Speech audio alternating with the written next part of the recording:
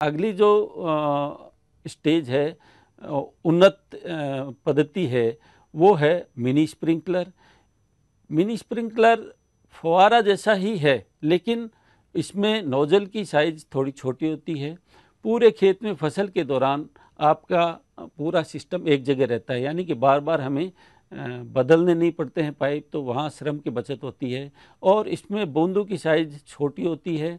पूरे खेत में जो छिड़काव है, वो बराबर मात्रा में होता है। हर फ़सल को बराबर मात्रा में पानी मिलता है।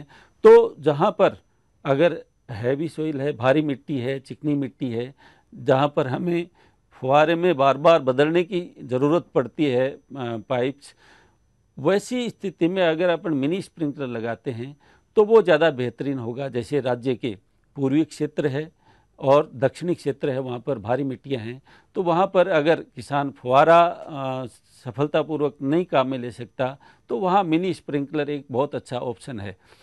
पत्ते वाली सब्ज़ियाँ, दूसरी भी सब्ज़ियाँ और ज़्यादातर फ़सलें, इसमें फुहारा पद्धति से भी अपन काम में ले सकते हैं और मिनी स्प्रिंकलर और बेहतरीन अपने पास विकल्प है।